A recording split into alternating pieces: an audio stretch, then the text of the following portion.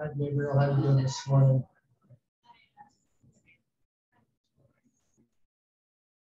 Oh, job. Being excited is, is, is, is good for, for having energy to put on a good presentation, right?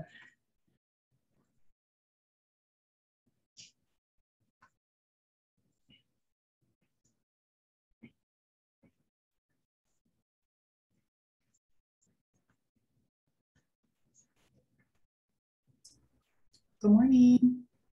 Good morning.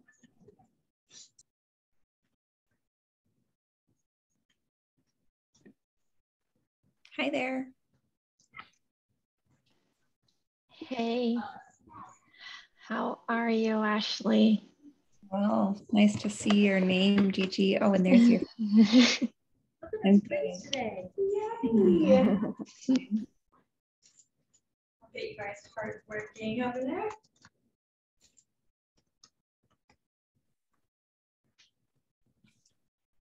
Uh, James Barry is, is James, uh,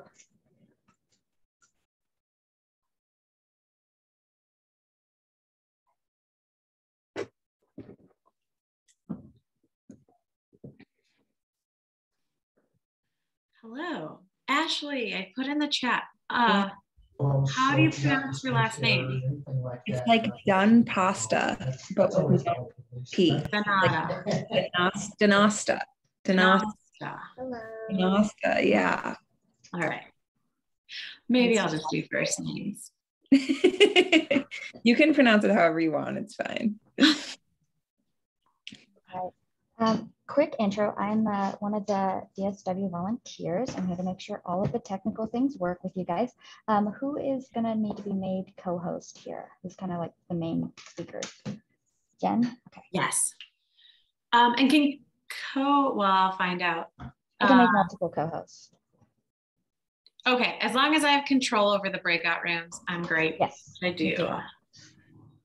Yes, you have the ability to control. Um, and so quick little rundown. Um, so I'm basically going to show the video at the beginning Yeah, yeah, um, and then the rest is up to you guys. Make sure you do the to get your points. typical, you know, mute yourselves if you're not talking, um, and then direct people to the Q and A. And I assume Jenn, you know how to do the breakout rooms. So So I'm um, that's to gonna all, all gonna be video up to you guys. I'll moderate the chat just a little bit, um, but it's mostly you guys, and I'll be here for um, technical support if you need it. Basically, you're, we're already live, but I'm gonna allow the participants in as they join.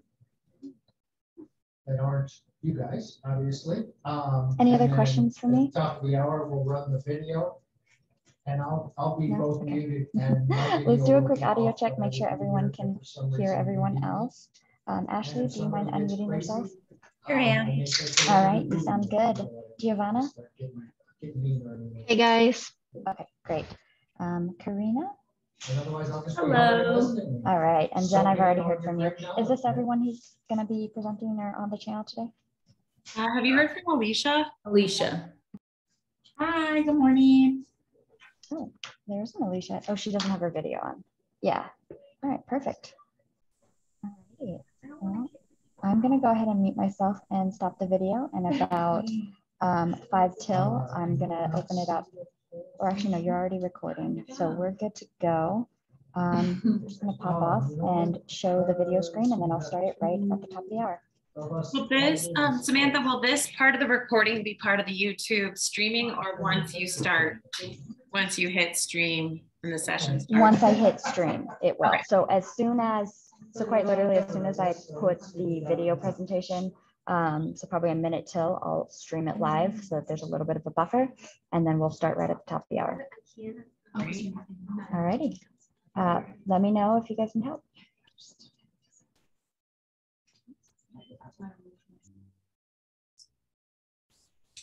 Guys, I think I'm gonna throw up. I'm so nervous. Why? Why? I don't know. Just how you get, right? I was in there just doing some stuff and I was thinking the same thing. I'm like, I ate. Why does my stomach feel like this? So, Yeah. hear ya. Um, being aware of giving this presentation for less than 12 hours. there you go. I'm with you, Alycia. I'm like, whoa. This is fun. my guess, you know, it's like uh, generally like people, there's people who are streaming on YouTube, so you won't even know how many people are there.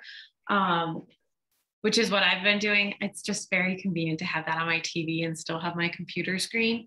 And then we'll get some people in the, the Zoom, which is great. They're all people that are cheering for you and want you to do well and just want your knowledge and experience. Jenn with the awesome pep talk. Also, I want to I want to chime in. Um, there have been multiple people who have had similar sentiments, and like everything goes fine. You, trust me. Like Uh, I made the mistake yesterday of starting YouTube too early, and there's an eight second clip of me and like two other people's faces on the video stream, and trust me, I felt horrible. So I don't think you can mess up worse than that. That's not a bad mess up, Sam. It's awesome. It's these are the I- worlds we live in. I don't really like doing like t- I mean I really like doing talking, but I don't like at the same time because I'm very like shy. But one thing that helps me is just visualize like everything going right. Um and and not like what I'm saying, but visualizing like how I want to feel at the end of this. And I know that things will happen that way. Um I don't know if that makes any sense. Uh, but I feel that that helps me like relax a little bit and go like, okay, like doesn't matter what I say or how I say it, things are gonna go right. I love that. And that really works because um, I literally almost missed my flight yesterday. And all I did was visualize me and my husband walking the airplane with no lines. And there was literally no lines because we are the last ones to walk in the, in the airplane. If we were two seconds late, we would not be able to get in the plane. So uh, I feel the visualizing how you want things to happen. It will happen, sometimes not the way we plan it, but the outcome will be what we visualize it.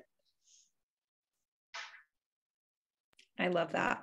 I personally just feel really um, held by being on a panel with all of you who like will will be able to play off of each other, and then also to have Jenn's moderation. Like that's my buoy that we've that we've got you kind of holding the container. I t- fully trust all of you.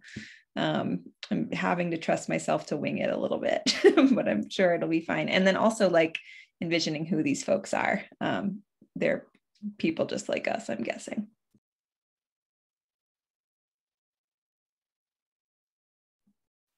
Absolutely. Or we've all been there, right? We all, when we started and all that, we've been there. So it's good. We're all good.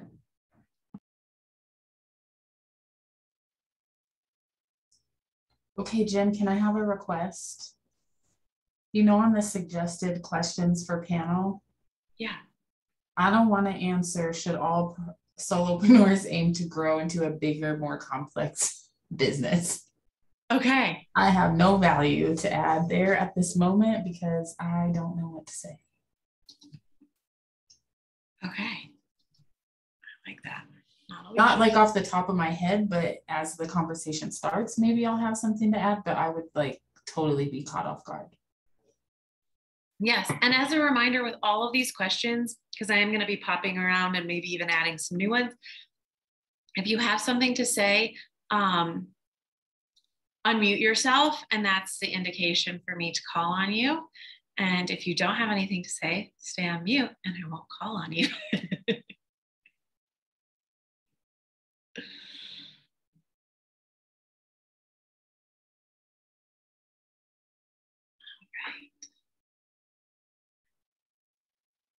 Welcome. So excited to see some people joining us here in the Zoom chat. And I know we've got some people who will be joining via YouTube.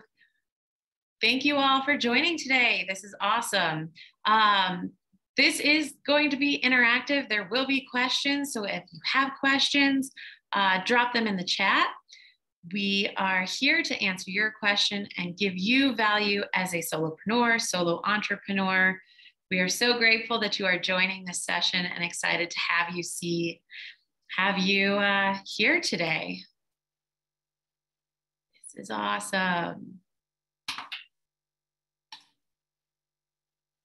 Right. as you're joining us in the chat, feel free, as you're joining us in the Zoom room, feel free to drop in the chat. Um, who are you? Where are you joining us from? What type of business do you have or are you looking to build? Um, we would love to learn more about you.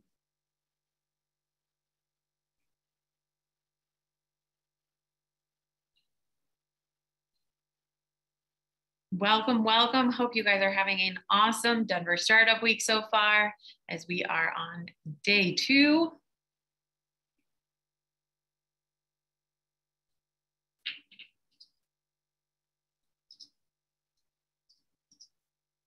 We're going to be getting started here shortly. If you are joining us in the Zoom room, drop, drop in the chat. Let us know where you're joining us from. Um, and let us know a little bit about your business. And if you are on YouTube, there's still time to join the Zoom room. Come on over. If you want to just join us from YouTube, that works too. We will have breakouts where you can ask questions of our lovely panelists directly. So Zoom is where it's at. Um, welcome, welcome.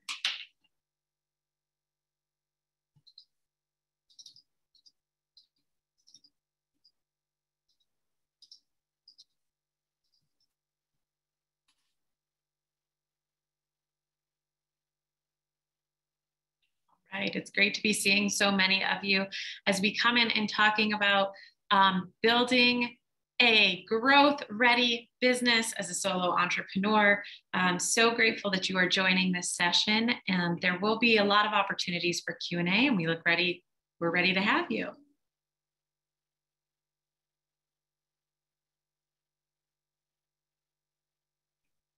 Welcome to Denver Startup Week. I'm Ben Deda, co-chair of DSW.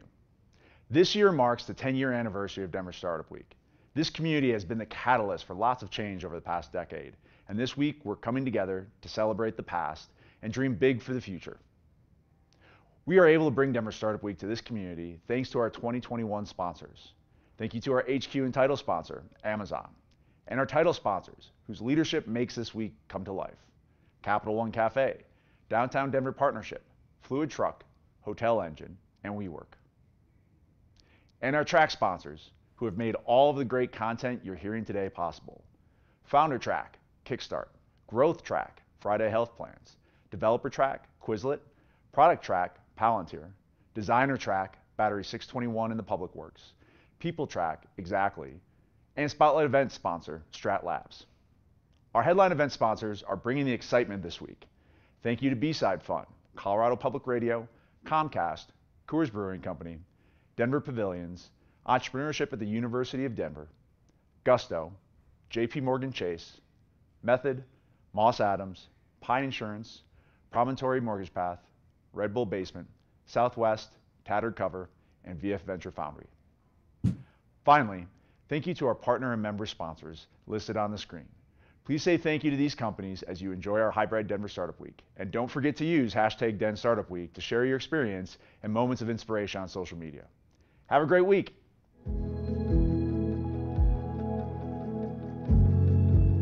Welcome to this session of Denver Startup Week.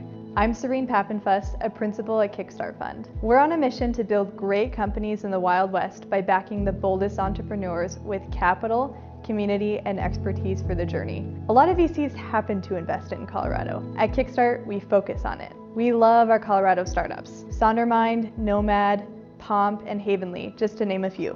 Because we were among the first seed funds in the region, we know what it's like to start something before others understand your vision, which means we're willing to lead investments in promising teams. We use our experiences to grow your startup and recruit top talent. Our portfolio is filled with visionary founders like you who are committed to moving the whole ecosystem together. It's the network effect in full effect. Raising venture capital is more than swapping shares for money. It's inviting the right investors to complement your team. We hope will be your choice for seed funding in the Mountain West, and we hope you enjoy this session.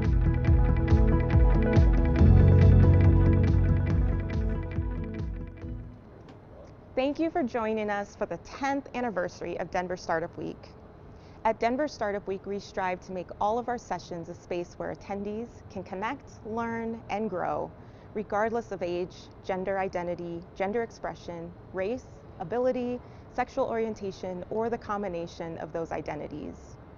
There's something for everyone at DSW, thanks to all of our community members who submitted their best content to make this week what it is. And thank you for joining us. Thank you to our sponsors for their support in helping us to keep DSW free and accessible for all, especially our founder track sponsor, Kickstart. With that, please enjoy this session and the entire week ahead.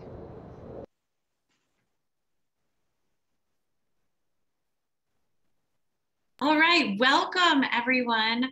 Big shout outs to all of the sponsors and the Denver Startup Week Planning Committee for making this event possible um, and making it virtual and able for us to connect, whether we are all here in Denver or across the country.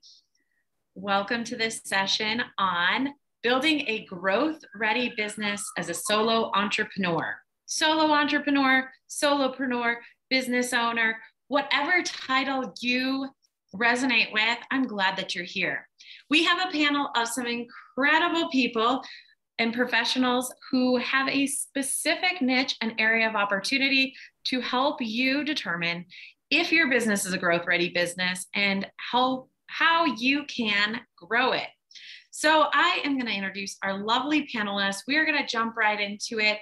If you are here in the Zoom room with us, welcome. Drop in the chat who you are, what kind of business that you have, make some connections. That is one thing that Denver Startup Week is all about. Um, if you do have any questions, you can send them directly to me or you can put them in the chat. We are going to try to get through as many questions as possible. Towards the end of the session, you will also have an opportunity to join a breakout with each of our um, panelists. And I'll get into that a little bit later. But first, you should probably know who our panelists are. First up, we have Gigi. And Gigi is the CEO of My Cats and Me, where she serves small businesses as a profit first strategist. If you haven't read the book, download it, add it to your bookshop, read it. It's an awesome book and she is also a money coach. Gigi has experience in bookkeeping and tax prep. Uh, Gigi helps creative entrepreneurs tran- translate their numbers into stories so they can understand, so they can make smarter, more intentional business decisions. I totally have a girl crush on Gigi, love what she's doing, and you guys will all have a girl crush on her too by the end of the session. Next up, we have Alycia.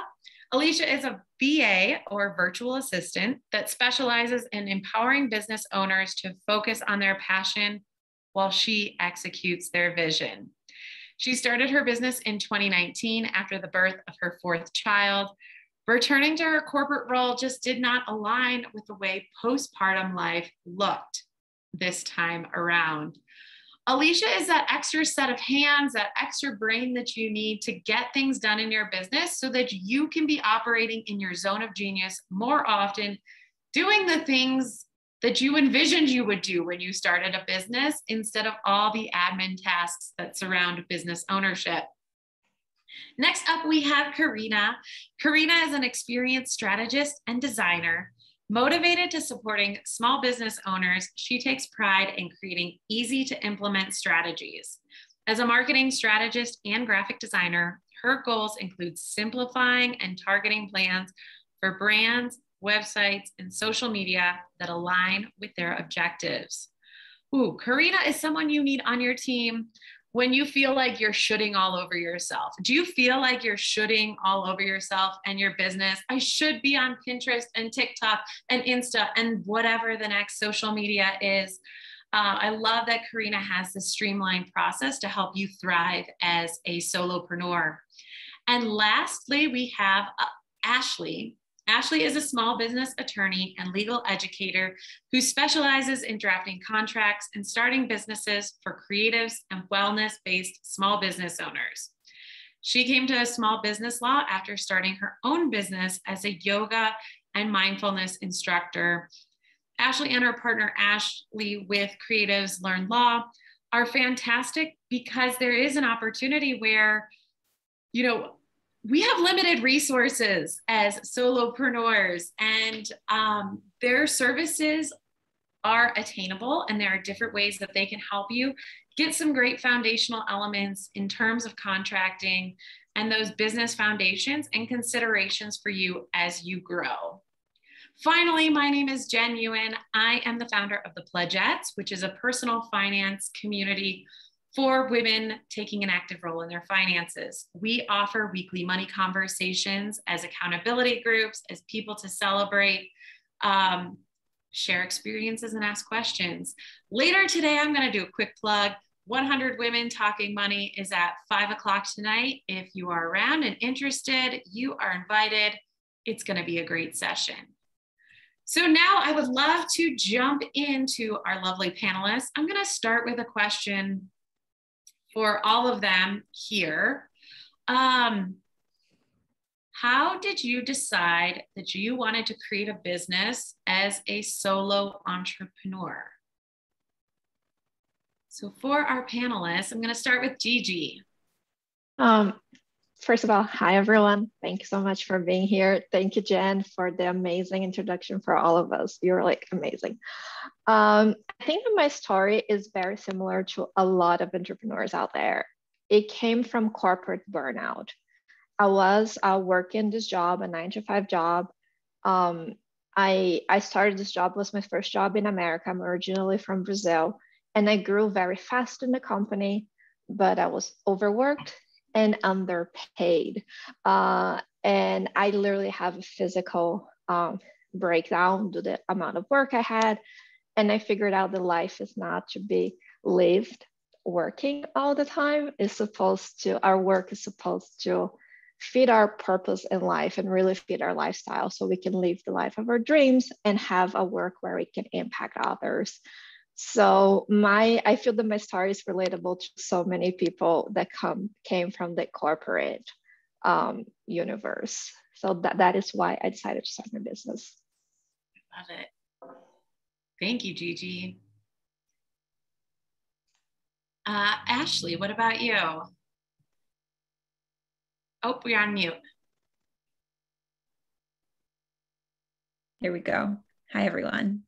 Thanks so much. I can really relate to you, Gigi. Um, you all may or may not be familiar with the legal profession, but it is renowned for being a very stressful environment. And I, as a um, as someone who values well being and likes to be outside and to play with my dog, was like, how am I going to build a life for myself where I get to really spend time doing what I love?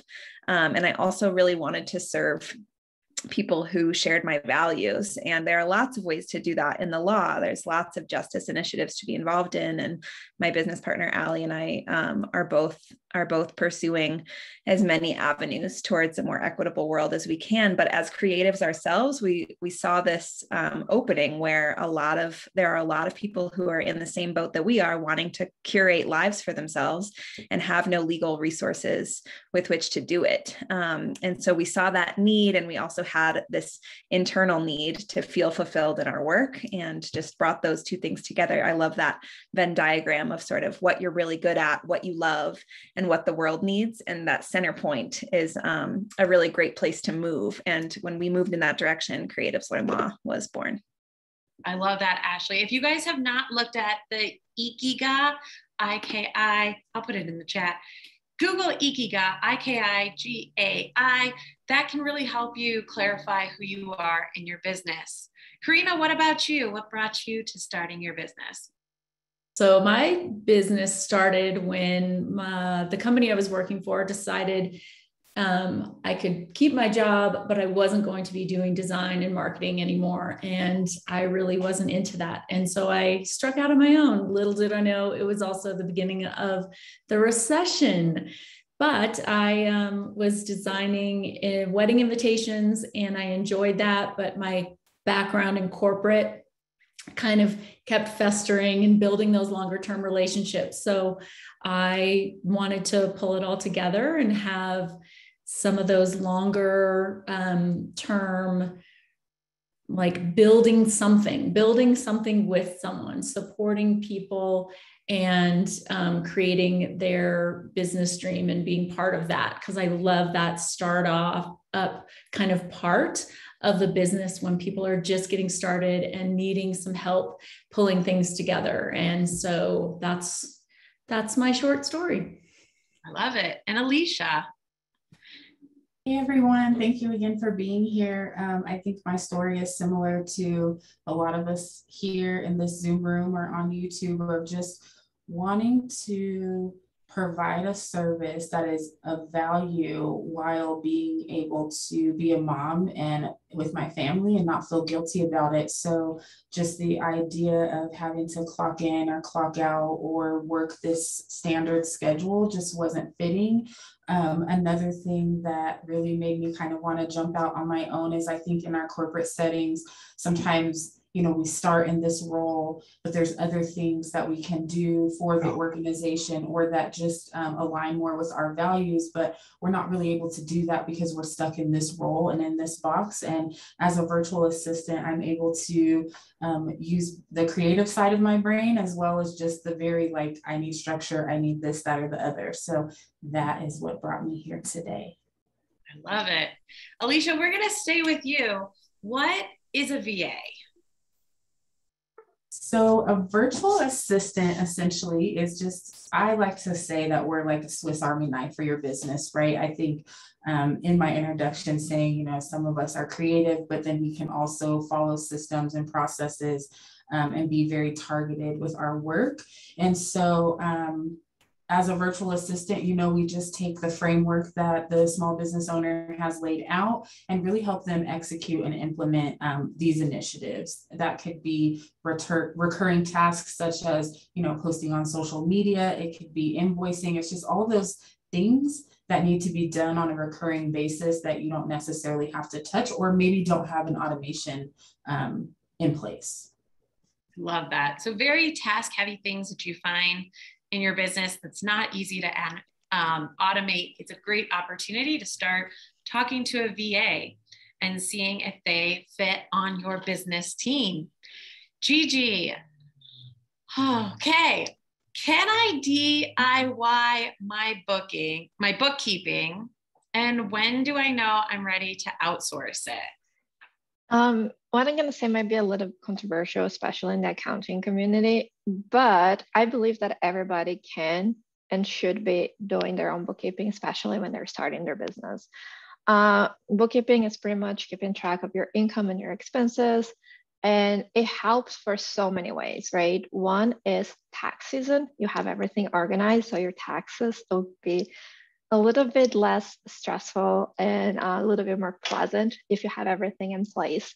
And the other aspect is to really see the profitability of your business and be able to track in in a consistent way what's working and what's not working because i believe that if you're not measuring you cannot improve so especially if you're starting your business find that system that works for you. It can be an old school ledger, it can be a spreadsheet, it can be an accounting system, whatever is, you absolutely can.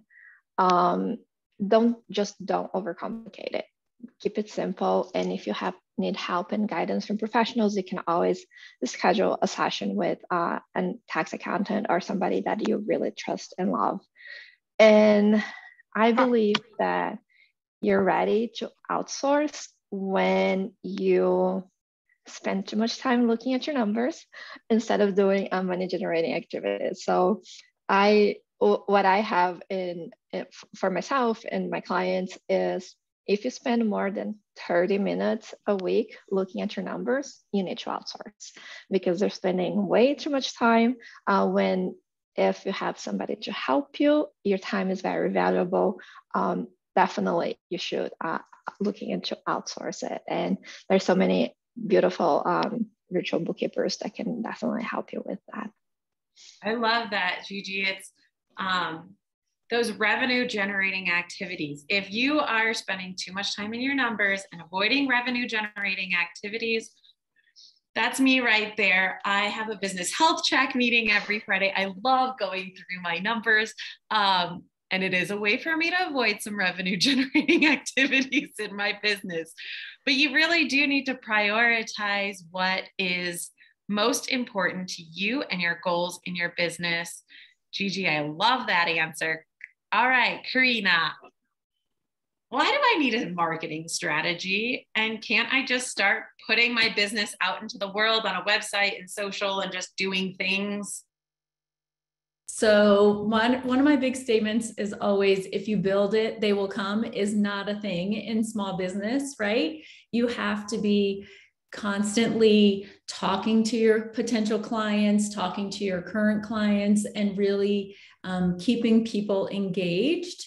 Really, if you look at any kind of marketing, that's what it's about. It's keeping people engaged and making sure that you are in front of them, right? And if you just put your piece out there and you don't have a strategy, then how do people know how to hire you? How do people know what the next steps they need to take? But also, marketing is about giving people the opportunity to get to know you, see if they like you, especially if you're a service based business, if you're a single person, single solopreneur, putting yourself out there, then you're the face of your business. You're the person taking care of all of the um, different pieces um, that are more client facing, right? You might have help from someone like Alycia doing VA work, whether it's publishing um, your social media that you're hopefully writing or that get you're getting a feel for your client base. Um, but you can't just put it out there and hope that people are going to find you. Um, you can have great SEO, you can have all of those things, but if you aren't continually communicating with your client um, or your prospects, then it's unlikely that they're going to um, be engaging back with you, which then turns into sales. Yes, I love that. All right, since we are talking about the start and the foundation of the business, Allie, I want to ask you what are the most important steps solopreneurs should take to protect themselves from business liability? You know, none of us started our businesses to um, to be lawyers, except for you. Um, so, you know, as solopreneurs, what do we need to be thinking about? This is my favorite question to answer um, because they they're really it, the law can feel super overwhelming and cloudy, and especially when you get into the thought process around like what risks is my business facing, and that's when I really think it's time to start thinking about the legal foundation of your business. It can feel overwhelming, and yet it boils down to just a few really simple steps that I find myself talking with entrepreneurs about over and over again. Those steps are first, creating a limited liability entity. In Colorado, it costs $50 to make an LLC and like five minutes on the Secretary of State's website. It's super easy. At a high level, what a limited liability entity does is it separates you as a person from your business. So if there are risks that come at your business, they don't attach to your personal properties. Um, and it's it's relatively easy to create that separation. You need a separate bank account um, and you put all of your business money in your separate business bank account. You sign contracts as a representative of your business. Um, and it just does wonders in case you do end up in a in a really scary situation in a, in a dispute to make sure that your personal assets, your house, your car, your wages aren't going to be on the line and that you just keep your business risks owned by your business. That's step number one. Step number two is to buy commercial insurance. Before you even think about hiring a lawyer or buying a contract template or working with a, a lawyer to draft your contracts, buy commercial liability insurance so that if there is a lawsuit or a dispute, if you run into um, damage of your property, you have a safety net, right? So that you can keep your business running and that's not just going to pull you under right away. Um, step three, though, is to get really good written agreements in place. And so that's the, the main thing that we do at Creatives Learn Law is create contract templates and draft contracts for creative entrepreneurs.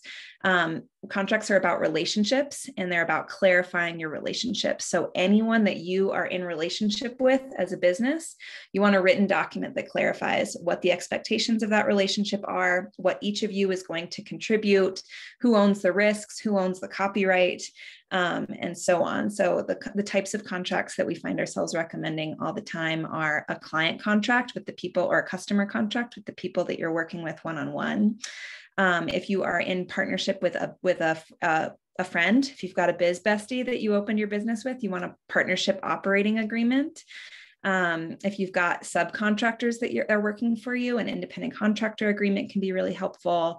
And then, you know, it's the 21st century for all of us operating online, having terms of use and a privacy policy on your website that would be my like high level checklist.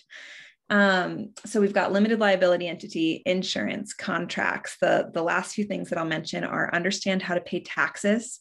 You can work with your bookkeeper to help you be prepared to pay taxes at the end of the year. But um, most entrepreneurs who are operating as LLCs or who are just single member LLCs or solopreneurs are going to be responsible for filing estimated quarterly income taxes um, once a quarter with the IRS. And so, understanding your obligations there, understanding how to get a sales tax license if you're selling products, including digital products, um, and otherwise knowing what your what your obligations are. There's income tax. There's also self-employment tax, which is a huge shocker to people who come from W-2 employment. Um, and then sales tax and, and other, other responsibilities and privileges. I love how Gigi frames taxes as, as a, it's a privilege to contribute to the collective.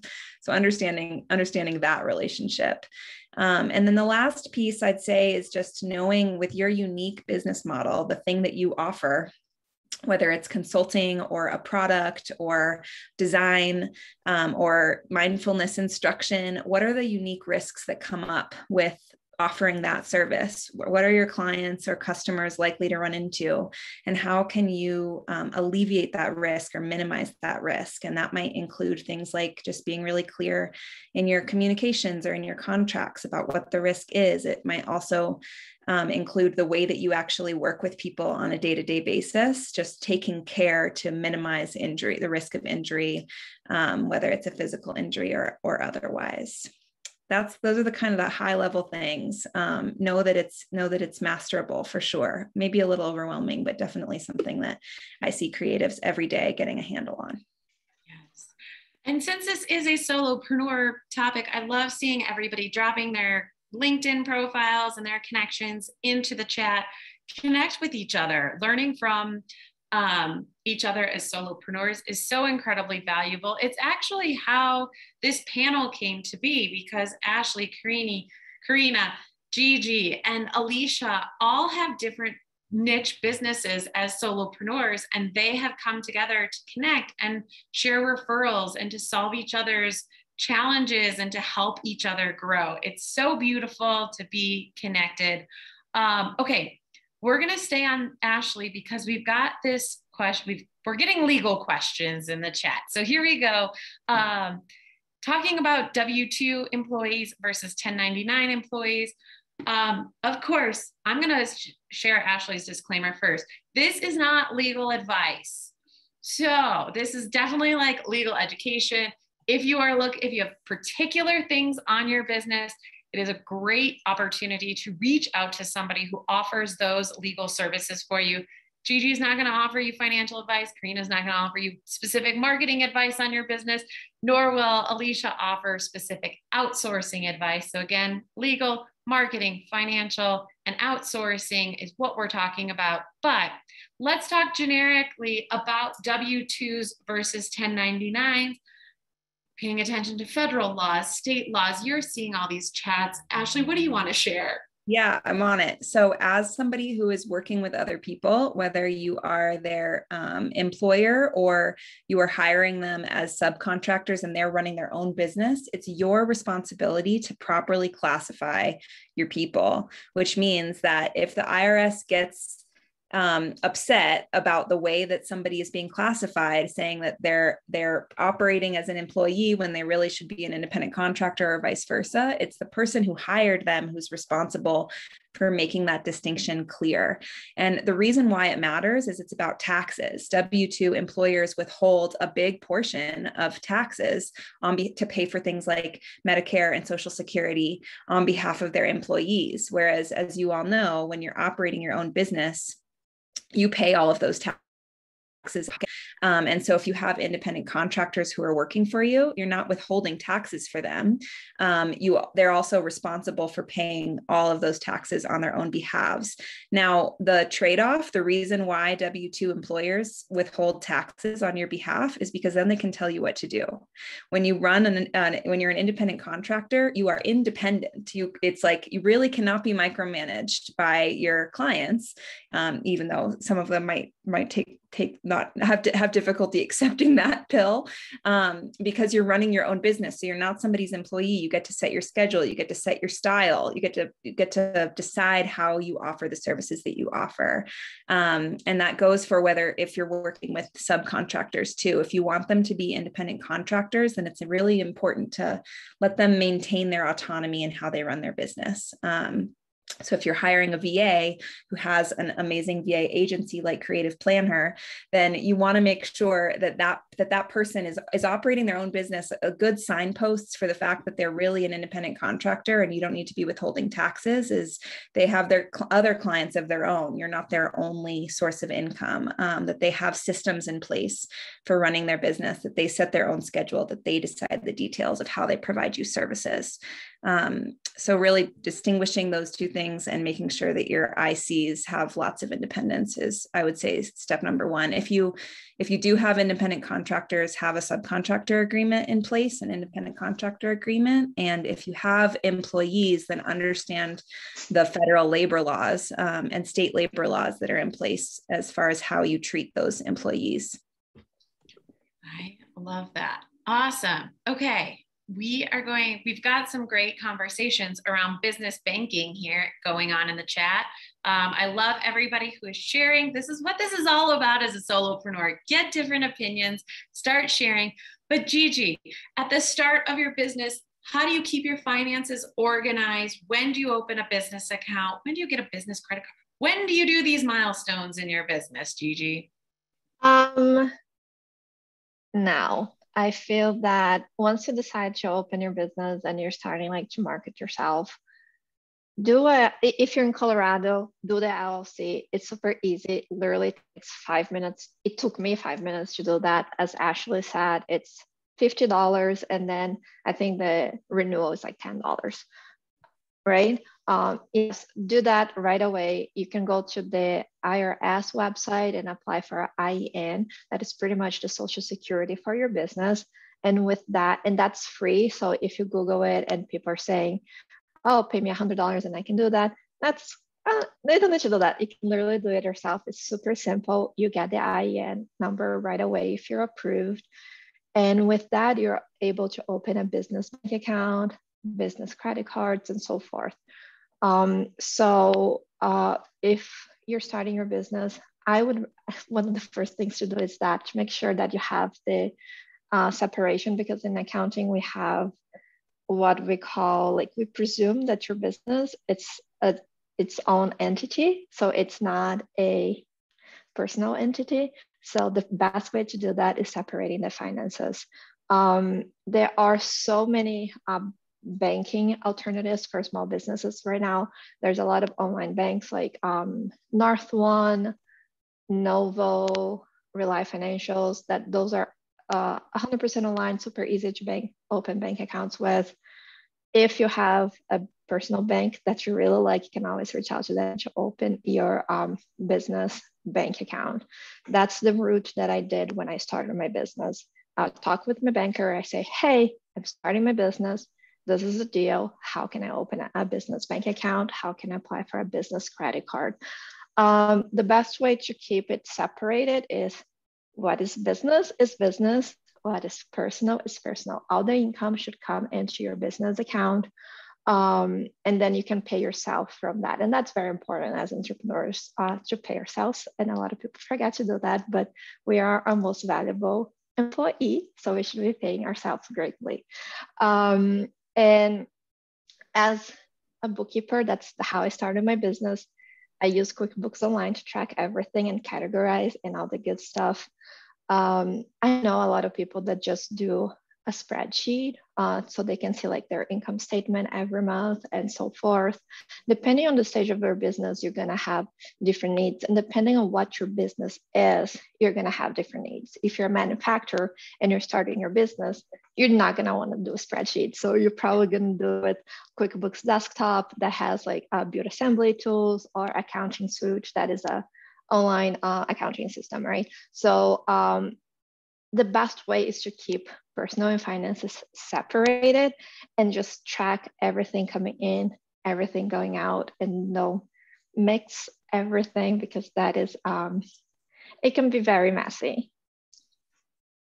I love that.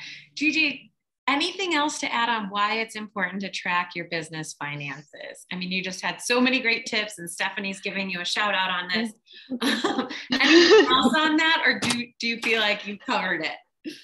Um, I mean, I, I feel like for me, um, I work with like um I work with numbers, but my brain doesn't work in a linear way. My my brain is very squiggly. So for me, tracking my numbers, it's not a daunting task because numbers are linear. is actually very exciting and it's very creative. My point of view, because uh, I started my business four years ago. When I look at my income statement, my balance sheet, all, all that good stuff from four years ago to today, I can see the growth of my business and I can see what worked and what did not work uh, through my numbers. It's, it's like it's a very realistic metric for our business, right? So I feel that tracking your numbers, it gave us that uh, intelligence and knowing what's working and what's not working, aside from our feeling and our intuition and our, oh, I feel that this is such a good offer, but nobody's buying or I feel this is such a good price, but you're actually losing money every time you're working with your clients. So that gives you that metric that I feel it's very important to have, and you can only have with your numbers, right?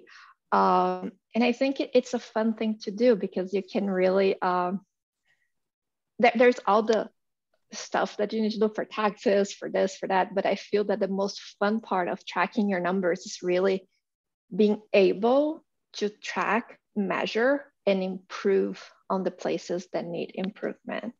Um, so that is, that's why I love numbers. I love it. And Wake yeah, up. you've got a, a bunch of uh, team squiggly brains going on as well over here. So that is great. Um, okay, so Karini, we're starting to get some marketing questions. I want to jump over to you. This when is it best to try to be a solution for all or niche? Like, how specific can a niche be? And what does having a niche provide you? I think that it depends what your business is, but starting off and understanding, like seeing where your biggest opportunities are by offering a few different things. And then as you start to grow, you can look at, like Gigi said, look at the numbers, but also what you're most passionate about and what you want to be doing. You could have a great offer that you actually don't enjoy implementing or um, having to refine or having to support on a regular basis. So you want to find that right balance, but then niche down to what's that sweet spot for what you want to be doing, but also what your clients and customers are wanting from you. So that way, you're going to be more engaged in your marketing and more um, willing to um, just basically avoid any kind of burnout if you're more engaged that way. So just keeping aware of all that and then starting to niche down. Um, I still offer a variety of services because I enjoy doing them all and I enjoy like building that whole big thing. But there are other designers who are just doing logo design. There are people who will just do website design. And and I like helping people with all of that kind of like lifting them up kind of deal with all of those and and work making sure the pieces fit and work together. So that's that's just part of my personal preference. So I think that people just need to find and figure out what's the right thing. But sometimes having too much means you have it's difficult to message clearly to a lot of people and you're confusing them and they don't know exactly what you do or what you're an expert at. Hmm. So that's another reason to niche down so that you can communicate with the people that you want to be working with, what your expertise is, how you're going to support them, and how you're the best person to support them. It's much easier to make that argument to a very specific group of people. Um, whether it's web design for um, for specifically for wedding industry professionals, right? I've seen that where people are just focusing on supporting that. So they're experts at it. They know the lingo, they understand the language. They're putting together um, all kinds of materials and website um, graphics that they know work. So finding that niche for yourself um, can really help build your business. You just have to make sure that you're in that niche that you enjoy doing because you don't want to you don't want to lose yourself. You don't want to be like, okay, now what? I'm in I'm down this kind of down this lane and maybe I want to do a little bit more of this. Um, so just make sure you're loving it. I love that. And I, I believe that we have so many service providers in this session based on the links that have been dropped in the chat. And as you niche as a solopreneur, you get to build referral partners. So if you are just building websites for wedding industry professionals, then you can also find people who specialize in um, you know, social media or social or branding or graphic design or kind of Carina, like this umbrella is a great place to start. Um, I love what you shared there. Alycia, I want to come over to you because I think so often as a solopreneur, we want to just like hand over a pile of everything and to just have an extra set of hands to do everything that we were doing. So you mentioned earlier in the introduction that VAs really help with specific tasks. There are also online business managers out there. What's the difference between an online business manager and a virtual assistant? Yes, that is a great question. And a thorn in my side, if I'm being completely honest. So, um, the difference between these two so, a virtual assistant really is the resource that you need to execute your plan, right? And so, an example of this is you know your target audience already, right? Because you've worked with Carina or another marketing strategist and you know exactly who you're talking to, you know maybe the schedule and and so your virtual assistant really is just going to schedule those posts and do that. It's very clear on what they're doing.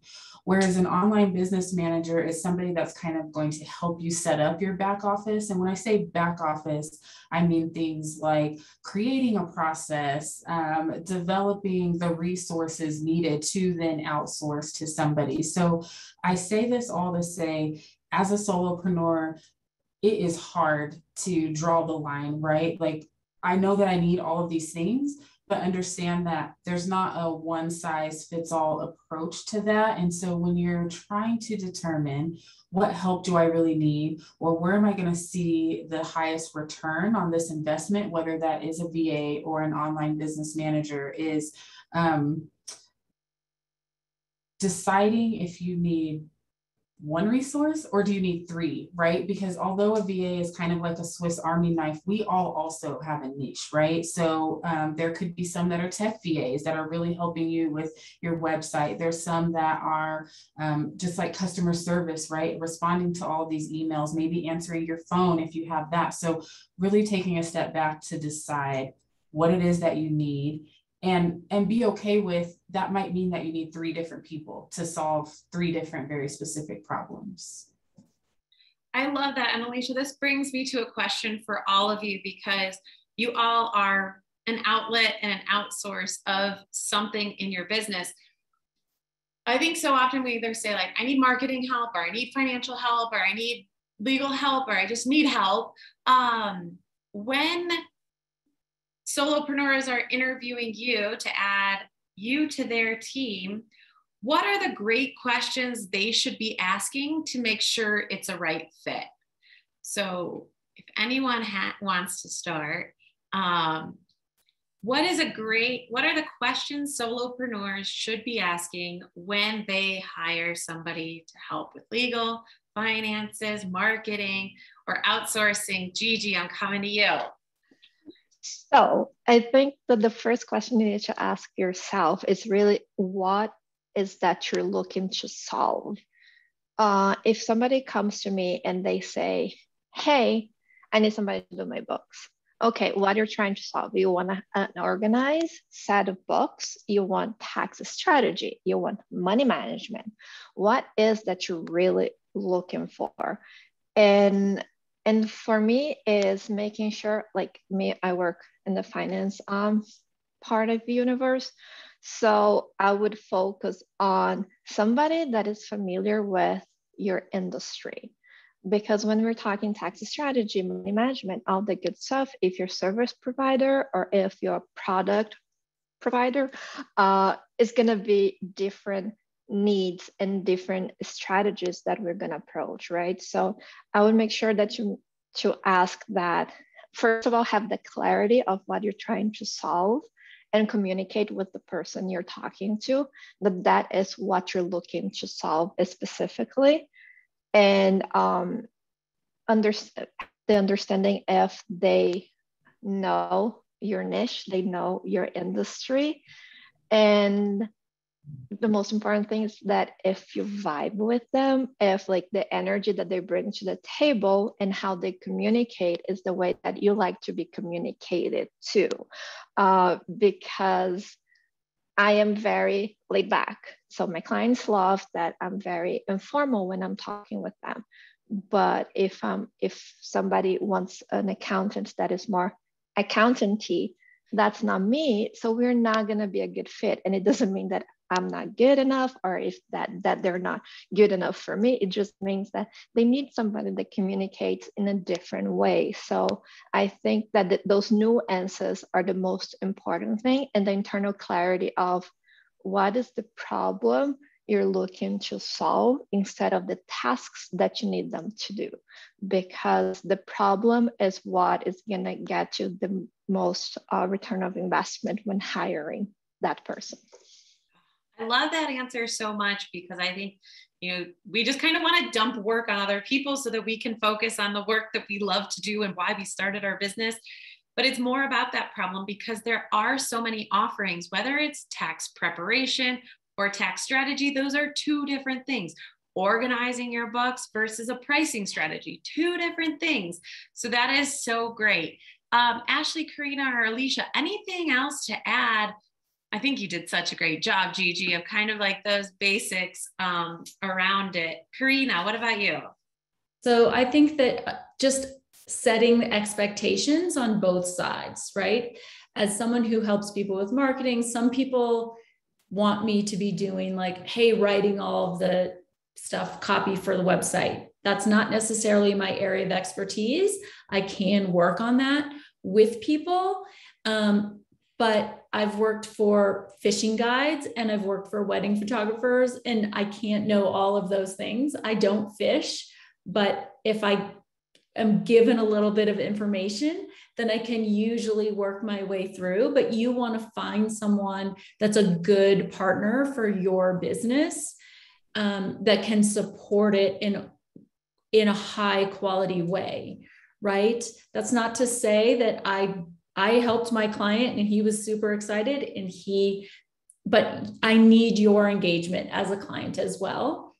If you're not to, going to engage, whether I, I would guess this is across the board for all of us, if you're as a client, as a as a client of mine, if you're not going to engage and give me the information that I need to do the best job for you, then it's really hard. I can't just be out there floating alone and coming up with all of your ideas and implementing your ideas. I need your input to make sure that we're meeting your objectives, um, short term objectives as well as longer term objectives, and building those relationships with your clientele as a marketer. Okay. These are all just everyone else taking as many notes as me because these are just all such awesome nuggets. And I love like if you don't want to work with this person, if you don't want to like answer the phone or if you see that you have a meeting with them and you're not excited about it, there are other professionals out there that you can get excited about. So don't feel like you have to hire the first person that you meet with every time. Um, Carina, also, Brendan's going to take you fly fishing every day because you're missing out on not having fly fishing as a niche. Maybe he'll get you to make it a niche. Um, Alycia, what about you? What are some great questions to ask when building out your team?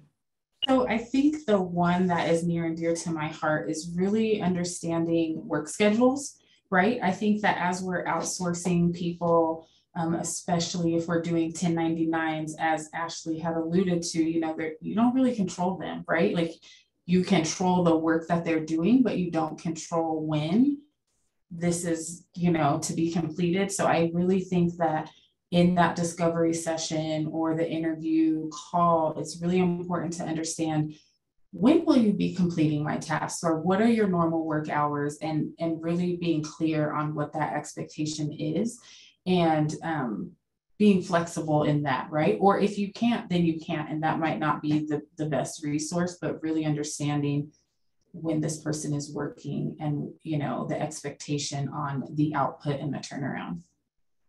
Yes. Ashley, you kind of alluded to these contracts that you might have, a scope of work or a contract with independent contractors. What do you want to share about what you should do when interviewing these people. Yeah. When do you mean when interviewing potential contractors to work for you, or do you mean when yes. interviewing lawyers? Cool. Yeah. Especially, and if there's anything in the niche of legal, that's a good. Yeah. Yeah, um, when interviewing people who are going to come and work for you, I think I think personality can't be understated. So trying to understand like who these people are, what their values are, and whether they align with your mission. And especially as you're niching down with the audience that you're trying to reach. If you're um, if you're working with a marketer or somebody who's helping on your social media content or a copywriter, you really want to know that that person can capture your voice and can and can reach people in the same way that you can reach them.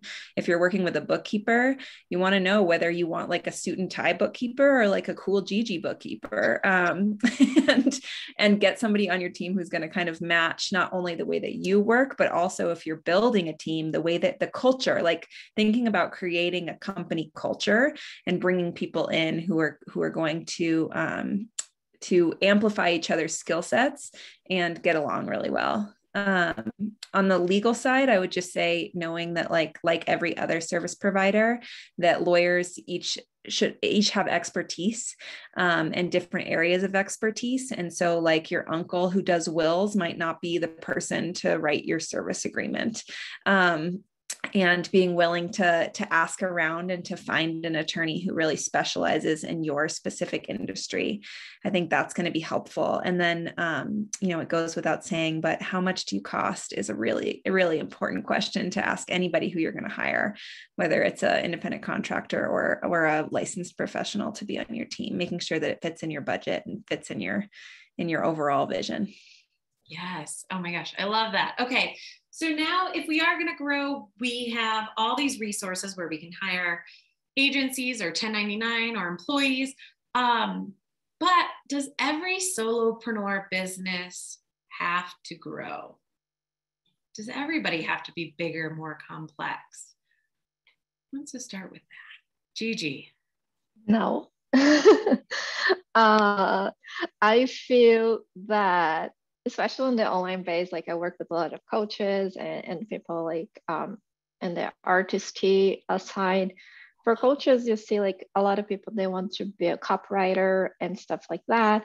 A lot of people, they just want to be like agency model, right? So they want to hire a lot of people and have them doing the client work and they manage and all the good stuff. That is not for everyone uh, me, for instance, I don't want to have an agency because I really value the relationships that I built with my people. Uh, my clients are not just my clients, they're like my friends. They're people that I wholehearted believe in their mission, and I'm here to support them in the way that I can. That is through number talk, right? From bookkeeping to tax strategy to um, money management that I use uh, profit first uh, methodology for that. Um, so I think that do you want to grow because you want to grow and that's the business model you're seeking for? Do you want to grow because people tell you you should do that because that's how you make more money? Because that's not necessarily the truth. So I feel that um, we don't want like i feel it's hard for us to succeed by ourselves i do have a small team of people that help me uh, especially on the things that i'm not good at. So they, they're very they're better than me in so many things and that's why we, we made a very good team. So the growth is do you want to grow because that's what you really want or you want to grow because you feel that that's a benchmark of success for people that are looking into what you're doing? So um, I don't think everybody wants to grow in that way. And there's different ways that it can grow your business that is not just in terms of size. Mm-hmm. Carina, what about you? I think it's a challenge as service provider myself to I enjoy working by myself and Gigi put it really well of nurturing and supporting these people and having their that quality relationship with people that's not something i can really hand off to someone else. So i want to um, maintain that. So for myself um, that's that's one side of my business. The other piece is that as a service-based business you end up in a in a position where there's limitations on where how much i can grow as doing one-on-one services. I only have certain amount of time, so I think that's always something to consider as a solopreneur. I can bring in other support people, VAs, to help add um, add in and do a little bit of management of some behind the scenes pieces.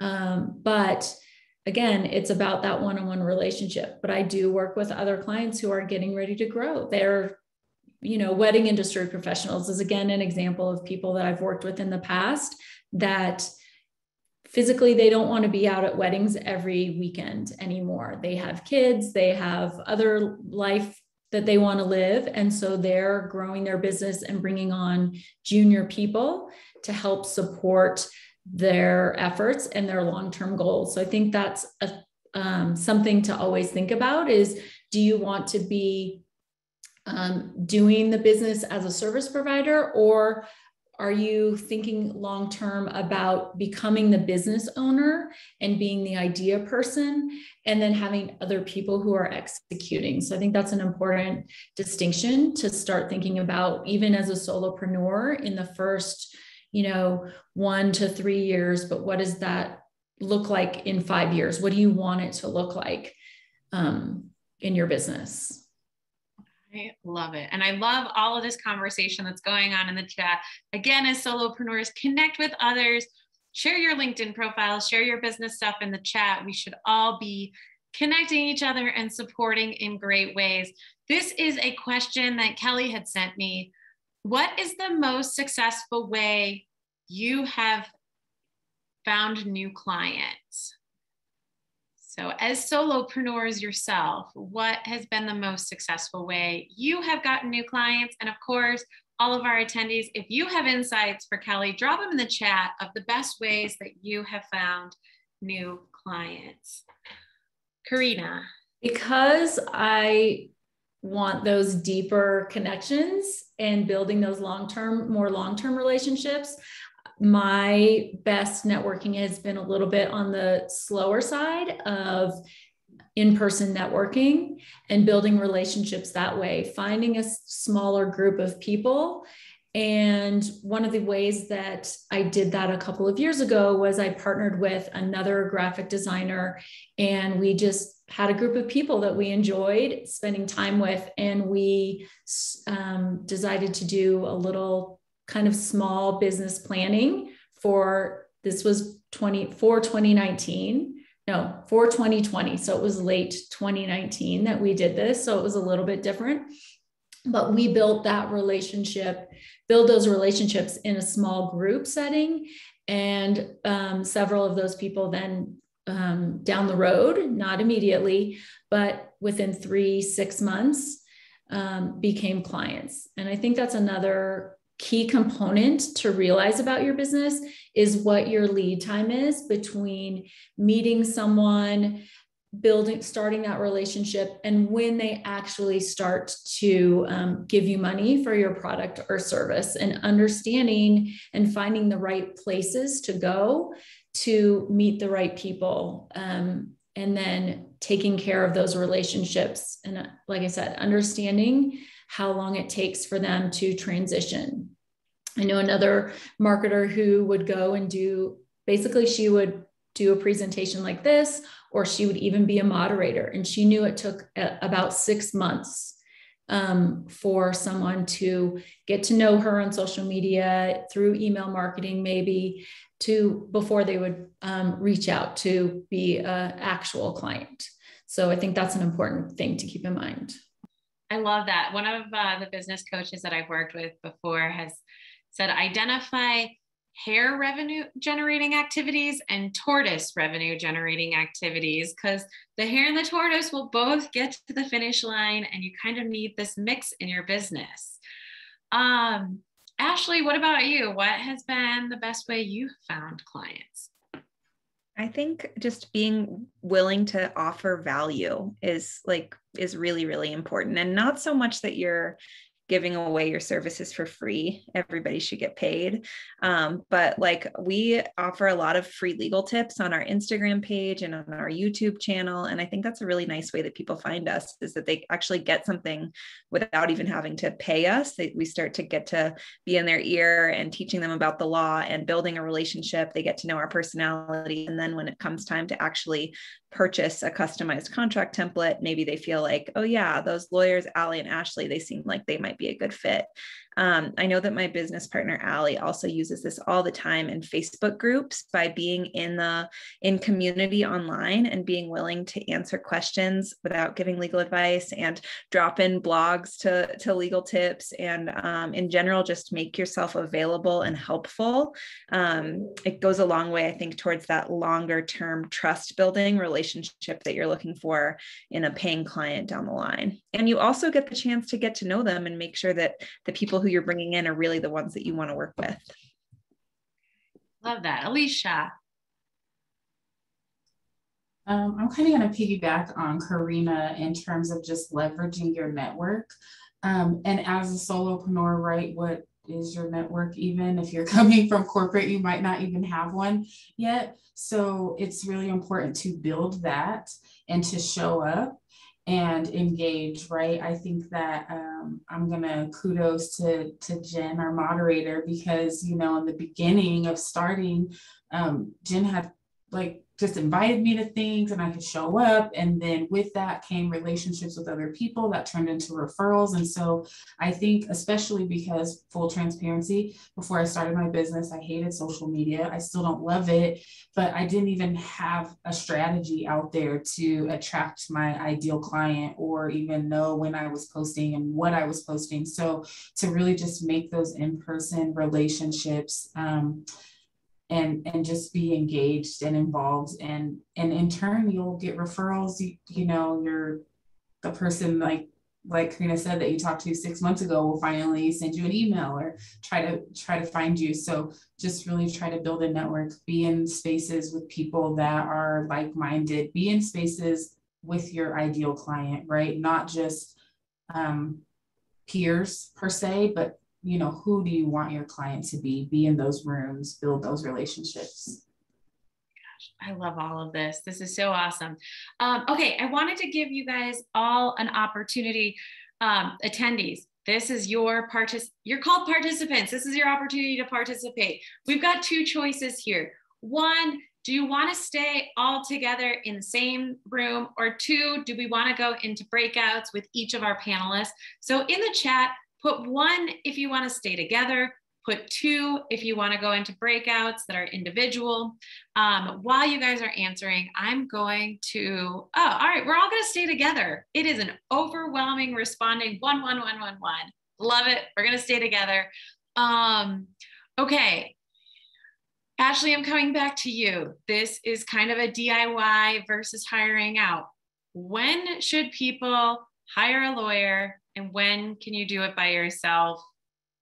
Can we just buy online templates? Can we just ask our uncle who writes wills to help? Uh, can we watch a YouTube video? When do we do it ourselves? when do we hire a lawyer? What does that look yeah. like? Great question. So, um, and our, you know, I come from the perspective of offering both. For the last two years, my business partner and I have been a law firm that have been serving clients in a custom one on one capacity. And recently, we've really started to amp up and build out this template shop. So, you'll hear me kind of speaking to the value of both. Um, just as a just as a heads up i think and the short answer is that you can you can do most of the foundational pieces of your business by yourself. I mean, creating a limited liability entity, opening up your separate bank account, buying insurance, asking around for referrals for a bookkeeper and for insurance, um, True, classic lawyer answer. It depends always. Just can't get over it. Um, you can do some of those basic things, even finding a contract template document that you can use to start working with clients. Or if you don't have a contract template, understanding what clarity and communication you need to have in your emails, even to make sure that you can start accepting pay and giving services and not running into huge legal risks. But as you start to grow and as you start to sort of create a business model, your own unique style, then I think it makes sense to invest in legal tools and maybe an attorney to help you navigate those legal tools. So the first step is if you're a service provider and you're in an industry that is well established, like you're a wedding vendor and there, you know, there are lots of photographers or planners or caterers or consultants who are in your same industry. Um, and obviously, you're going to have your unique flair on things, but there are other people giving the same services that you provide. You might be able to find a solid template that is going to do just fine um, for you. And when you're shopping around, I would say just look for which industry the people who, who, wrote those templates, number one, do they have a legal background? That's really key. I see that all the time. And then number two is do they have a, a knowledge of the unique concerns and um, and risks that might that might be facing your business industry. Now if you're building a business that doesn't really have a cookie cutter model to follow if or if you're uh, run, doing things totally differently than other people in your industry it probably makes sense to work with a lawyer to custom draft your contracts. Um, and of course typically people know when they are really really needing an attorney um, to answer a question or handle a dispute for them if you're if you're facing a situation that you just feel totally overwhelmed by um, then it's worth it's worth talking to some lawyers and seeing if there's somebody who can meet your needs within your budget recognizing that legal services are awfully expensive and it's a, it's a total racket. Um, but hopefully you'll be able to find an attorney who either will give you a flat fee for what you need or will be able to quote you in advance and say i'm going to spend one hour on this and this is my fee and this is how much it's going to cost. So you don't um, end up spending more than you intend to. Awesome. Carina ah, time is such a gift and it is something that solopreneurs do not have a lot of. Um, I don't have time to do every and all of the marketing stuff. How do I create a marketing plan and find the time to implement it without keeping me from actually doing the work I love to do in my business?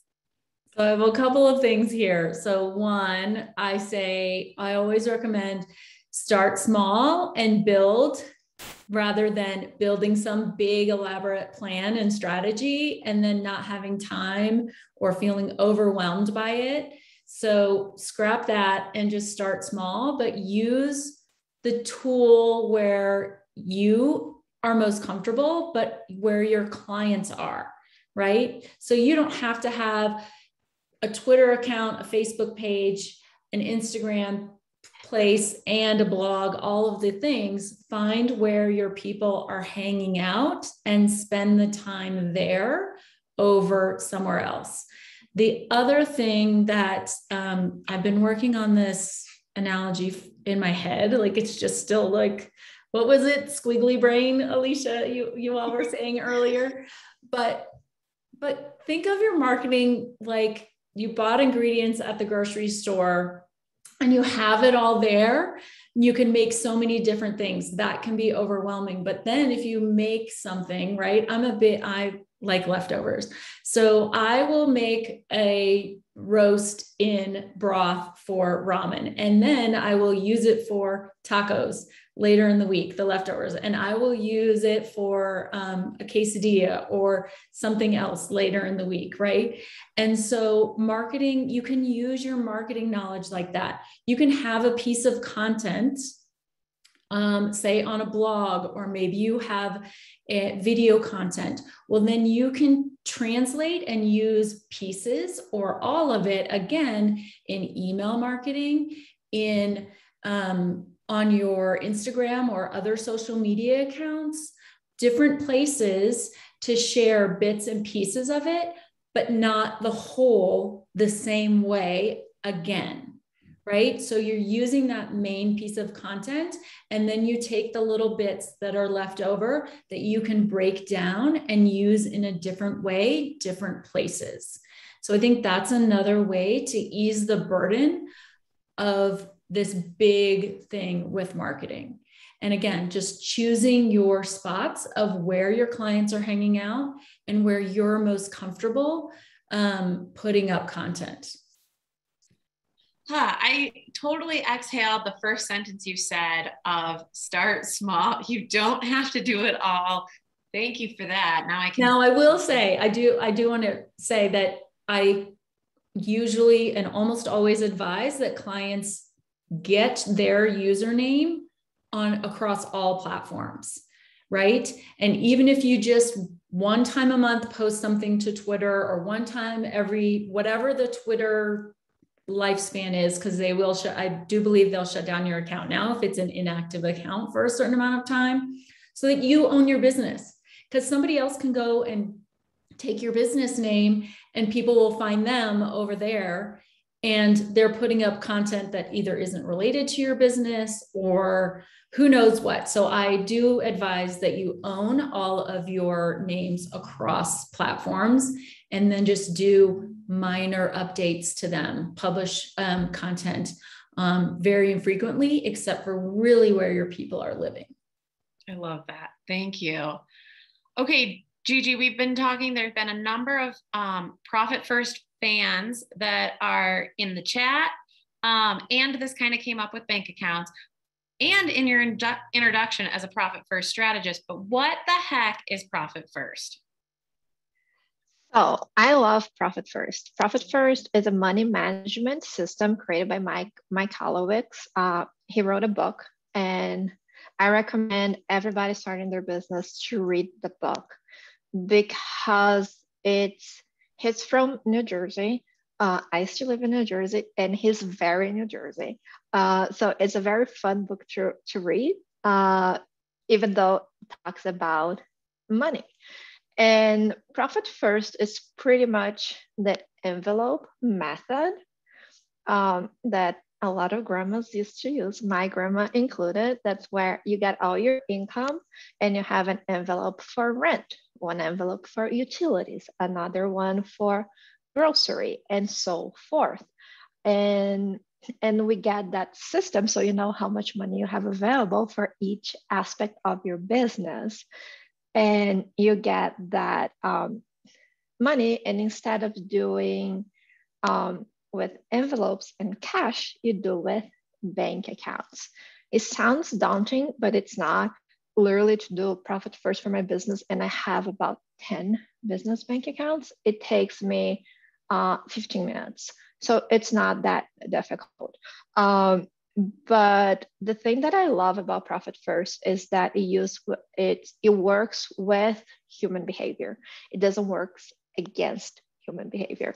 Uh, so when we open our bank account and we see five hundred thousand dollars, our brain goes, "Ooh, I have five hundred thousand dollars to spend." We're not thinking, well, but you know, twenty percent of this is for taxes um, 10% of this is for my employees and I don't know how much percent of this is to pay myself. Uh, our brain doesn't separate like that when we're looking at the bank account. So what Profit First does is you have different um, bank accounts for each item. And every time you do your money date or whatever is that you call, uh, you look into your numbers and you see the income for the period and you do percentages to each bank account. Uh, this way you do have money to pay your taxes and you know exactly how much money you have available for you uh, for your business at the end of the period. And if you are um, product based, it's very, I, I, think it's a very um, special money management system to use because you can do like have an account for cost of goods sold, have an account for sales tax, and all those things. So it just makes a little bit easier for you to see exactly how much money you have available for your business.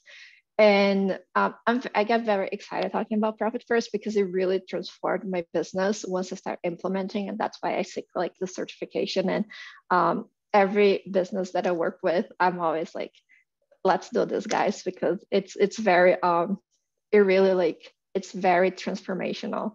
But the thing that I like the most about Profit First, and that's how I saw the most change in my business, is, is using that as a budgeting tool.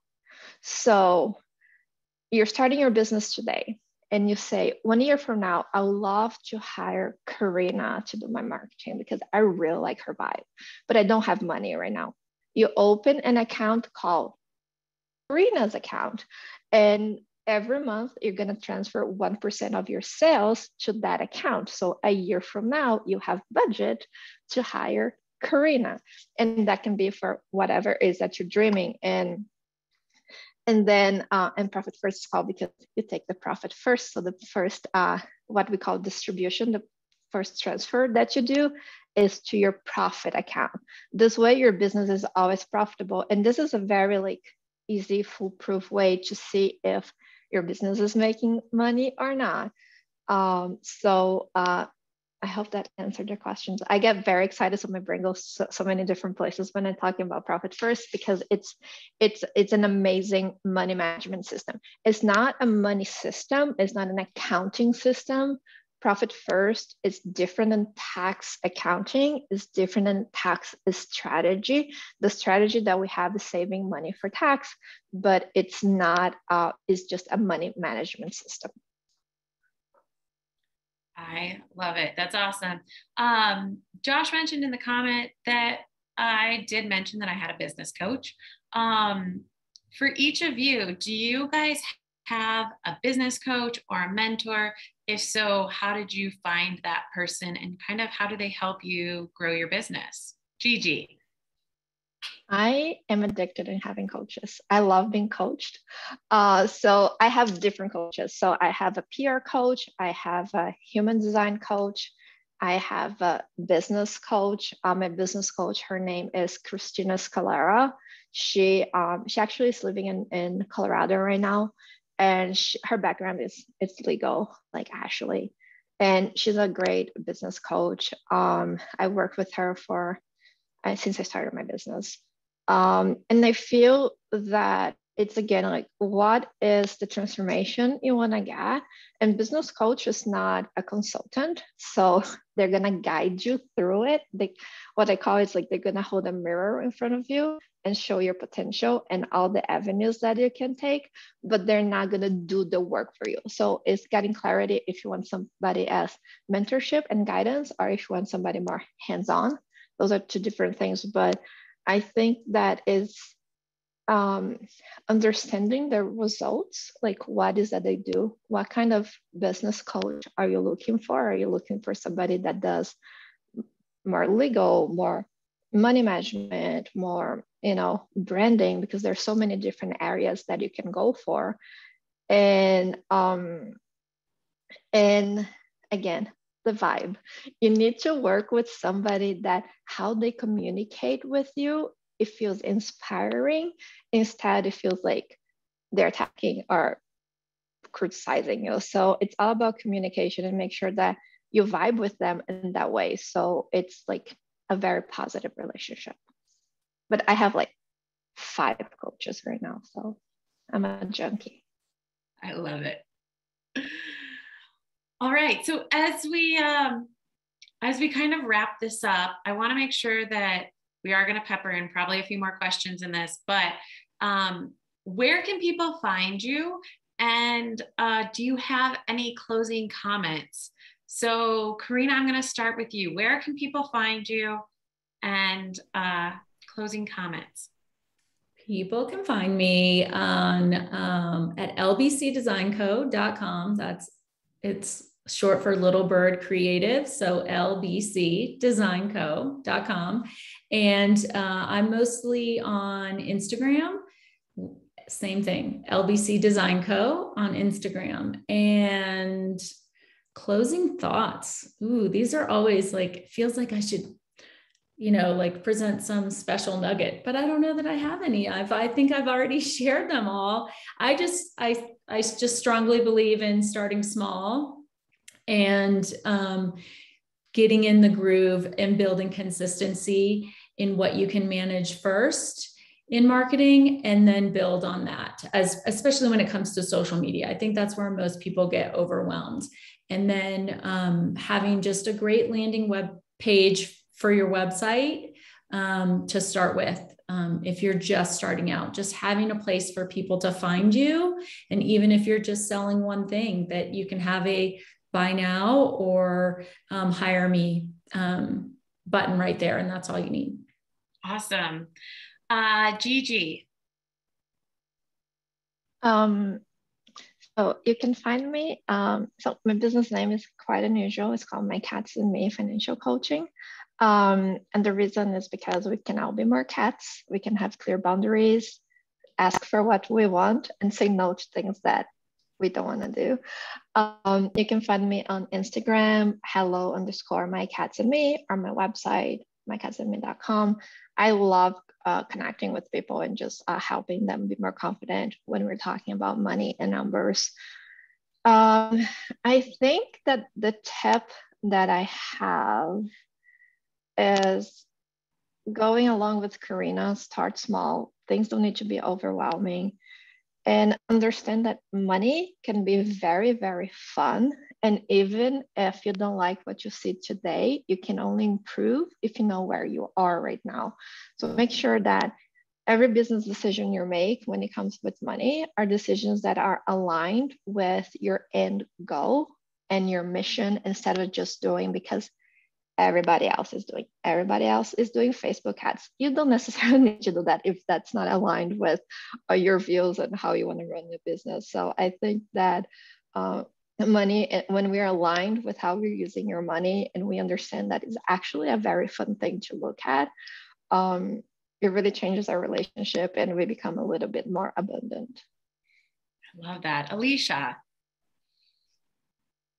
um, if I could say anything about takeaways, it's the same as um, Carina and Gigi. It's start small and really understand um, what it is that you need. And we all know that our businesses are our precious little babies, and it is hard to get some stuff off of our plate, right? Because there's not somebody that's going to write this blog how I would write it. They're not going to pick the picture that I like, this, that, or the other. And and I get it. And you know, but we have to, you know, drop a few breadcrumbs here and there if we want to move forward. But start small. Start start with a specific task and give that person some time to to do it in a way that you would do it right i think another um, takeaway from this is you have to get comfortable with somebody, right? So as you onboard whoever it is that you're outsourcing to, we have to take a little bit of our corporate with us in terms of there's a 90 day onboarding plan for a reason, right? Because you have to be coached, you have to be trained to get to, you know, ideal results. And so I guess that is my two cents. Um, oh, I was supposed to say where you can find me. Uh-huh.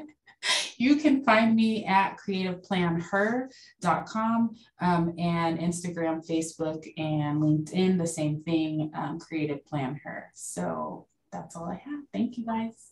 Ashley. Yeah, I'm going to take a different tact and say take a break. That's my that's my big tip is like take some time back. Um, take a day off in the week. Have a an end day. Um, one of my favorite little things that I got when I first started in the world of entrepreneurship was to have a workday shutdown ritual. And my partner and I will still close our computer at the end of the day and say across the house, workday shutdown ritual complete. And then it's like work is over and you get to be a human and you get to have your life. Um, I think that when you're like doing something you care about, it can feel all consuming. Um, it can be so stressful and like anything you can do to take care will ensure that you can do this for the long haul. Um, on the legal side, I'll just say that like you're not going to land up in jail. Um, you're like the risks for small business owners, for really small businesses, for solopreneurs are small. Um, so try to exhale more than you hyperventilate. Inhale and know that you can handle it. Um, and if you can't, then there's help available you can find um, my business partner Allie and I at Creatives Learn Law on all the platforms. I also um, Instagram is probably our favorite and YouTube, but you'll see us on Facebook and Pinterest and LinkedIn too.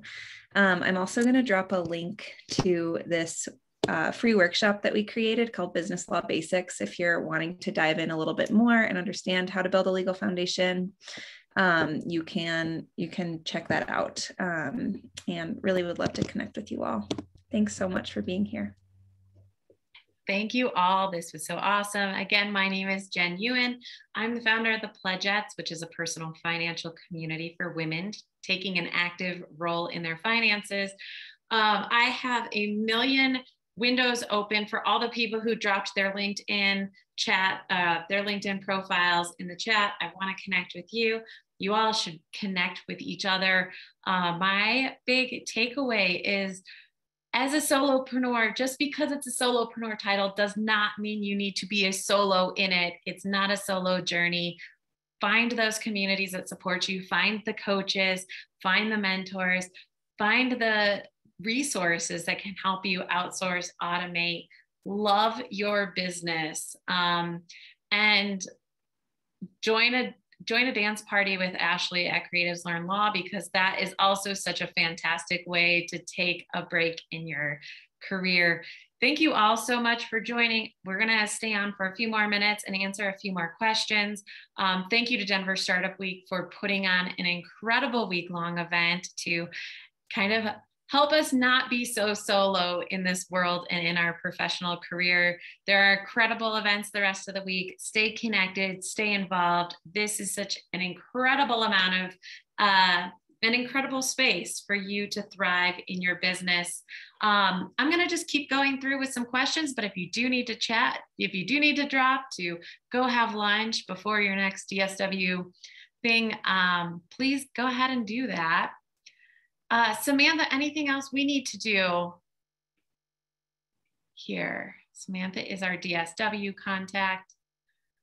Um, all right, there is a lot of thank yous going on in the chat, which we so love and appreciate. Somebody had a question on as they build out new offerings in their businesses and new ideas, should they create a new business or can they do the same business legally, financially, marketing wise, uh, outsourcing wise. Who wants to jump in on that? As your business grows with new offerings um, and new revenue streams, should it stay one business or should, or when should you make maybe multiple businesses? Ashley can hop in really quick from the LLC side. We get this question a lot. If you, um, knowing that an LLC is about separating your property, the, the property owned by your business, it makes sense to create multiple business entities. If your different business models are going to own really different property, like if you're, if you have a spa over here that has all this equipment and then a consulting company, and you really don't want the risks that are, um, that might come up with your consulting company to like get at the tanning beds or whatever the equipment is, or if there are really disparate risks. If one is a really risky business and the other one is like not so much, then it might make sense to do the paperwork to separate them. But if you are, um, you know, a coach and you're also a photographer and you have, you see like very different um, you see the same clients rather if there's not a lot of there's a lot of overlap between your people then it's probably safe to have a single entity love that. Uh, financially, Gigi, when would you separate it or keep it together? Um, I would go with what Ashley said because um, I feel that I'm just organizing my thoughts a little bit. Um, I feel that when we are talking about finances and tracking income and all that good stuff, we wanted to have it like break down in a way that you get it and you can see where your your sales, where your revenue is coming from. So if like let's say I'm going to use me as an example because for me it's the easiest way to do. I'm a bookkeeper, but I'm, I'm also a profit first coach, right? So I didn't see the need of opening secondary business, secondary bank accounts, and everything else because I work with the same clients. My bookkeeping clients hire me as their profit coach. Most of the people that hire me as a profit coach, they do um, end up doing their bookkeeping with me. So it's kind of one and the same. Uh, so I didn't see the need. But let's say um, I'm a bookkeeper, but I'm also a uh, digital portrait artist. Then I would have two different businesses because the, the source of income is very different. Um, so that's kind of how I see it. Um, so it's almost like I think the financial advice goes a lot along with legal advice because we have a lot of uh, legislations and regulations when it comes to finances when we're thinking about taxation. Uh, so if it's completely different, open a different business. But if it's not, um, you know, you can just uh, keep it together.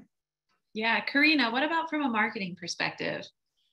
So my answer is going to be pretty similar to the um, the other two ladies. That um, if it's related and it fits and it makes sense, and you have the same clientele, then it's okay to keep it there if you're not going to confuse your clients. If you're going to keep it on the same website, and if you're going to market um, on social media or other places.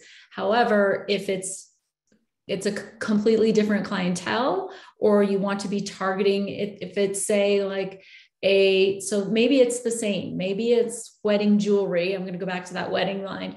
If it's wedding jewelry versus wedding um, websites right? But that's still a different even though it's both wedding and there um, you might be dealing with a lot more um, women as your clients you want to make sure that you're opening up like that that other side of it right? Even though there might be a lot of overlap of people well the people who are looking for your wedding websites they're not there to buy earrings.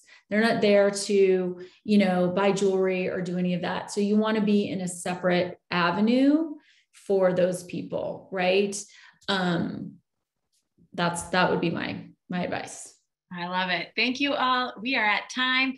Have a wonderful day. Have an awesome Denver Startup Week. Stay connected. Be good. Take a break. Have a great week. Bye bye. Thanks for participating, everybody.